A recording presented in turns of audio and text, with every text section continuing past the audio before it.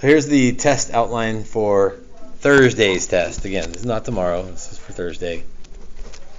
Um, one one with calculator problem, but it's like one setup, one scenario where we ask four different things. Right? Like, I mean, you could probably guess the things. How high did it go? How far did it go?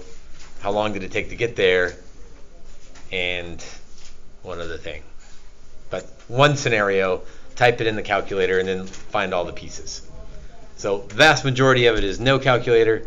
It's marked out because this used to be a longer test, like a block day test, I think.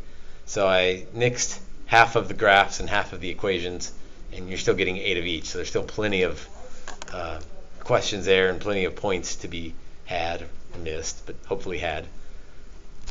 Eight multiple choice. Um, well, let's back up. Eight graphs from equations. So like I give you the equation, you do the graph. And then eight, I give you the equation, no, I give you the graph, you give me the equation. These are just like the last couple of worksheets, right? Where the, fir- the front half is you do the graph, and the back half is you do the equation, just like that. Eight multiple choice, mostly on converting polar to rectangular points and equations. Some of them are just like what equations do you use, and so like which one is not true, and you know we can scramble those up.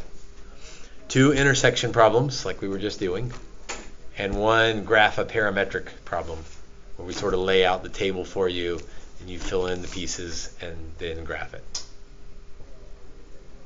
So I think fairly straightforward. There's definitely two separate topics on this test though, right? There's parametric, that's the projectile thing and the parametric graph, and then there's the polar stuff.